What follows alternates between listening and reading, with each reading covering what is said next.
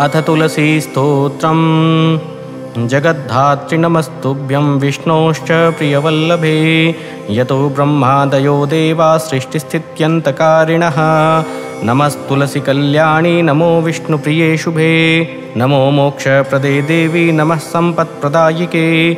तुलसी पातु मां नित्यं सर्वापद्भ्योऽपि सर्वदा कीर्तितापि स्मृता वापि पवित्रयतिमानवं नमामि शिरसा देवीं तुलसीं विलसत्तनुं यां दृष्ट्वा पापिनो मर्त्यामुच्यन्ते सर्वकिल्विषात् तुलस्या रक्षितं सर्वं जगदेतच्चराचरं यां विनिर्हन्ति पापानि दृष्ट्वा वा पापिभिर्नरैः नमस्तुलस्यतितरां यस्यैव द्वा बलिं कलौ।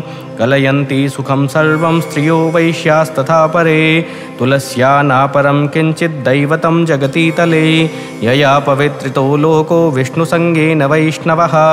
तुलस्याः पल्लवं विष्णो शिरस्यारोपितं कलौ। आरोपयति सर्वाणि श्रेयांसि वरमस्तके। तुलस्यां सकला देवा वसन्ति सततं यतः।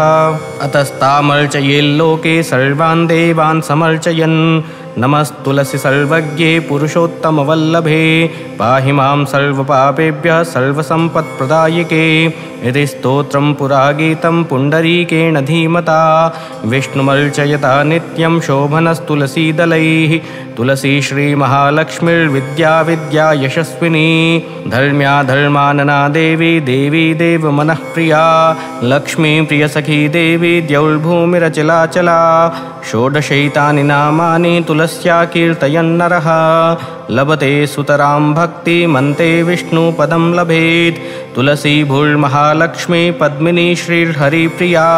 तुलसी श्रीसखी शुभे पापहारिणि पुण्यदे नमस्ते नारदनुते नारायणमनःप्रिये इति श्रीपुण्डरीककृतं तुलसीस्तोत्रं सम्पूर्णम्